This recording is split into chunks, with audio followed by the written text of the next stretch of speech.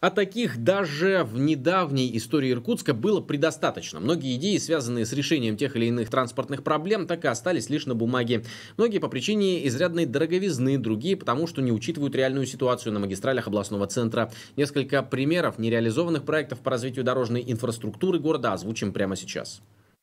Заметно выросший за последние годы автомобильный поток в Иркутске постоянно подталкивает городские власти к разрешению вопросов с дорогами и развязками, но не всегда планы удается реализовать. Так, в середине 2000-х годов планировалось продлить улицу Карла Маркса по эстакаде до связки с улицей Радищева. По аналогичной схеме ожидалось соединить также улицы Рабочая и Рабочего штаба. Такая схема позволила бы вовсе отказаться от Маратовского кольца и построить двухуровневую развязку с большей пропускной способностью. Но проект так и остался лишь на бумаге. Также долгие годы решалась судьба академической развязки. Лишь в середине февраля текущего текущего года был утвержден ее будущий тип, так называемый «Клевер». Съезд с Академического моста будет трехполосным в оба направления, а на улице Лермонтова построят путепровод или тоннель. Однако были предложения и о строительстве двухуровневой развязки. Она позволила бы на десятилетие разгрузить этот городской участок. Однако стоимость такого проекта уже намного выше, поэтому об идее поспешно забыли. Есть и другие болевые точки на дорожной карте города. Так, который год автомобилисты предлагают дать им возможность уходить с Глазковского моста влево в сторону Академического городка. И со стороны железнодорожного Центрального вокзала напрямую в Ленинский район. Но пока никаких сдвигов и в этом вопросе нет. Однако, учитывая масштабную реконструкцию развязки на Джамбула, возможно, власти прислушаются к мнению людей. Олег Федоров, новости по будням.